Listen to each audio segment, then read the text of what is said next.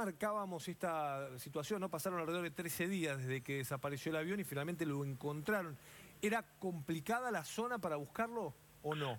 Eh, sí, la zona nosotros denominamos zona sucia, eh, no porque el agua sea sucia, sino porque es un fondo muy rocoso y además está eh, compuesto por muchos este, barcos hundidos, objetos metálicos, incluyendo barcos hundidos de la Segunda Guerra Mundial, lo cual dificulta bastante la búsqueda y sobre todo en fase 1, que es la fase SAR, la primera, que la fase SAR, o sea, lo que es búsqueda y rescate, eh, comprende también la posibilidad de que haya sobrevida, ¿no?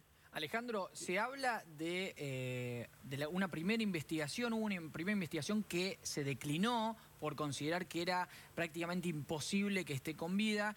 La familia retomó esta búsqueda, este pedido y lo retomó en forma privada. ¿Por qué crees que se encontró tan rápidamente, si esto fue algo fortuito o gracias a este equipo tan profesional de búsqueda? Bueno, se dieron varios factores. Eh, como bien decís, el, equipo es muy profesional, eh, tengo referencia de ellos. Este, y por otro lado, no es lo mismo trabajar en, en operativo SAR, cuando hay todavía posibilidad de vida, que trabajar ya desde otro, digamos, bajo otras circunstancias, este, en donde uno puede planificar mucho mejor el área de búsqueda, la forma de búsqueda, los instrumentos a utilizar, la frecuencia de trabajo para, eh, digamos, para trabajar con los equipos. Bueno, en fin, cambia muchísimo todo.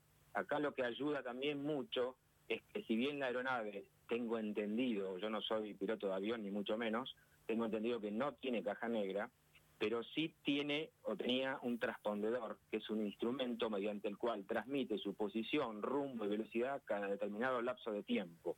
Y de esa manera es posible eh, seguir lo que se conoce como la derrota, como lo que, lo que sería el, desplazamiento que hace la aeronave hasta el último punto conocido, que es donde supuestamente este, bueno, tocó el agua. Alejandro, no sé si